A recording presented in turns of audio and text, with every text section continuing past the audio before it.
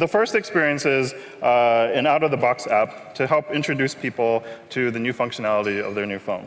And so as you can see here, what it's doing is that it's building a point cloud of the stage in front of us.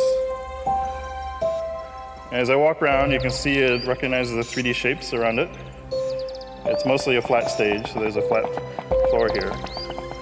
And we're visited by some friends. And it transforms the world into a fully virtual space and begins to grow the life around it. If I want to, I can get up and close, look at all the detail of the flowers and rocks.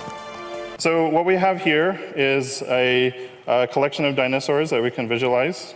And the fun thing is that we can actually place them here on the stage. We have a velociraptor there. If I want to see compared to one of the other dinosaurs, I place him there.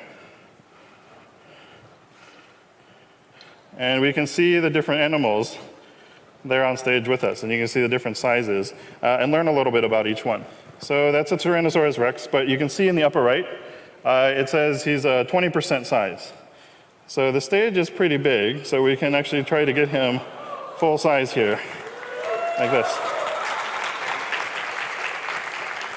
Hey guy, you can take a look at his teeth and respond. What we can do is that we have a large selection of colored dominoes, but we also have a toy box of different items here. So what it uses is it uses the depth sensor, and if I want to create a set of dominoes, all I have to do is click and drag, like this. Hit start, and we have a nice little domino set.